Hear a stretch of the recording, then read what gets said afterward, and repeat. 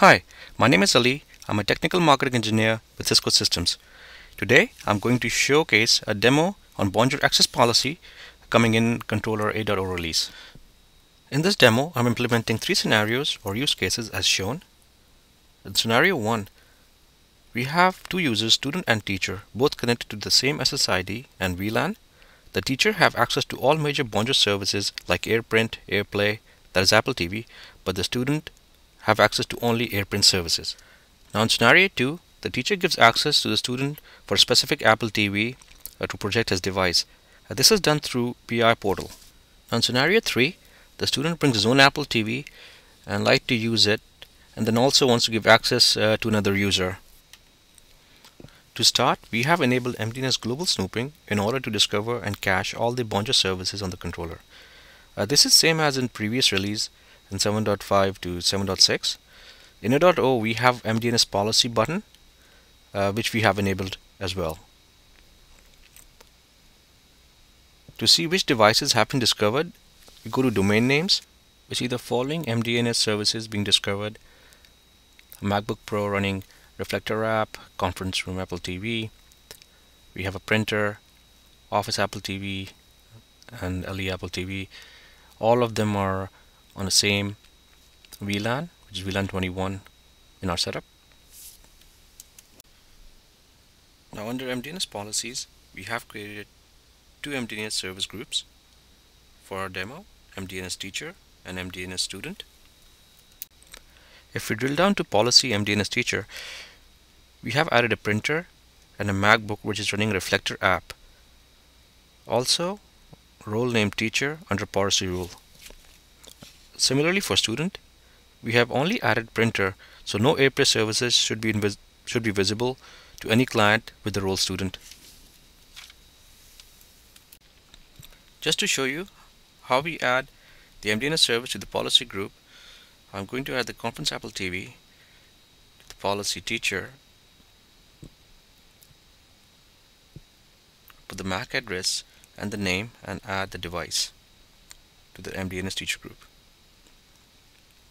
So if you see the services has been added and once the client connects with teacher role it should be able to access these three services. On a AAA server in our case which is ISE we have defined the authorization profile and Cisco AV pair as role teacher. Similarly for student authorization profile we have created Cisco AV pair role as student demonstrate the first scenario, we connected the users, teacher and student to the same .1x SSID, which is port 2x, and all the other Bonjour services devices like Apple TV and printers to port 2 PSK, and all of them on the same VLAN. Here, teacher's iPad is connected to port 2 1x SSID with IP address from VLAN 21, which is 10.10.21.112 and we can see the username teacher. And it should be able to see all the devices which are configured to the MDNS policy. And we see that. Conference room Apple TV and MacBook Pro which is running Reflector app.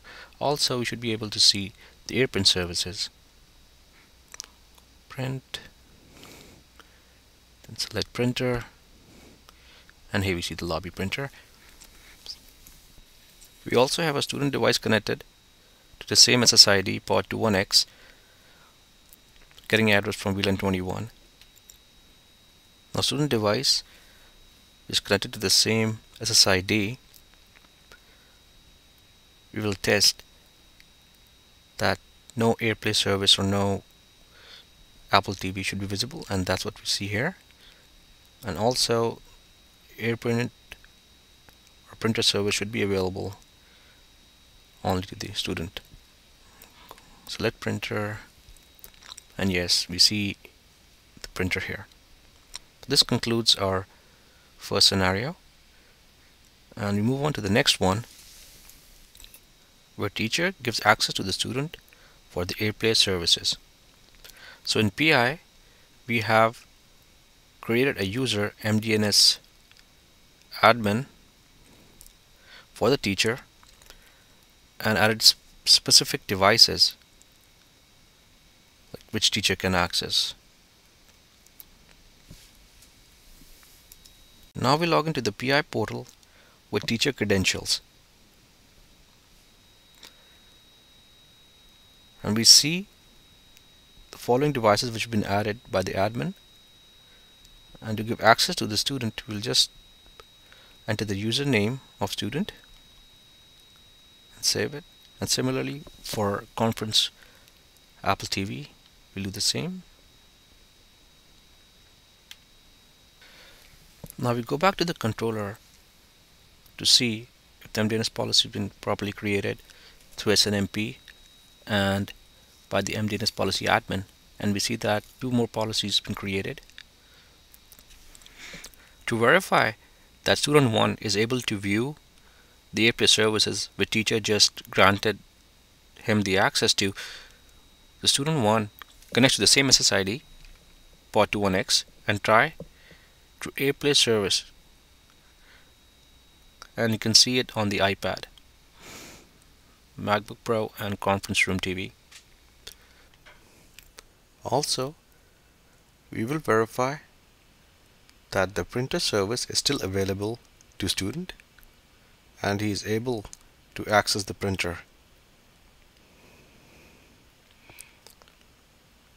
and this is true as well so far we have demoed the first two scenarios.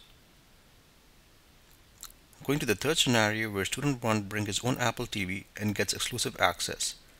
Plus he grants another user, student to access that Apple TV as well.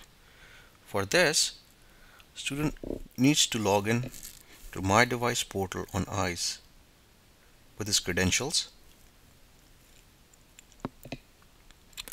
And add the MAC address of his Apple TV which is already on the network, assign a name and enable MDNS button. And enter the username which can access the device which is student 1 student 2 in our case. This generates an MDNS auto policy through radius on controller which allows student 1 and 2 to access the student Apple TV. Now connecting student 1 device he is able to see his Apple TV we just added. Similarly, we have another user, student 2, who should be able to only see that particular Apple TV. Here, student 2 device is connected to the same SSID, port 21X. And if we try to access the AirPlay services, we clearly see the Apple TV is visible, which the student just added. Now This concludes our demo.